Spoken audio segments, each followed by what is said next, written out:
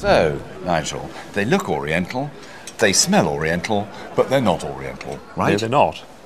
These were made either in France or England, and I'm inclined to think they were made in France. Although they're unsigned, they're very reminiscent of the work of the bronze founder Ferdinand Barbedienne. Mm-hmm. Great gilding, isn't it? Super gilding. I mean, is that not just how really rich gilding ought to look on bronze? The whole thing works really well, and they're, they're super quality. Very, very smart. A signature would greatly increase the value, but there's no doubting that they are circa 1880. What sort of estimate? 100 to 150, I think, is nice and competitive. Very good. £95 was paid Very by Mark reason- Stacey. very reasonable. As a bonus buy, and I think they're an absolutely brilliant belting bonus buy, which we'll look forward to seeing sold in a moment. 49 pair of gold patches.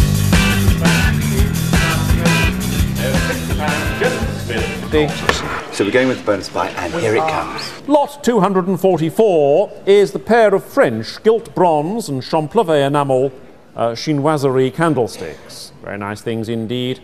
And uh, £150 for them is bid at 150 and 60, 170, 180, 190, 200, and 20, 250, 250, 280 for them, 280, 300, 80. 220, 350, 350. 380, 400, 400 pounds, and I sell at 400 pounds. Quite sure.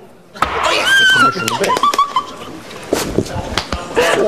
pounds. That is something else, isn't it? You are up £301. now, did that come at you out of the blue? Oh, yes. Did that come at you out of the my blue? day, where's Kiss him, kiss him, for God's sake, kiss him. Oh, my He a God. kiss.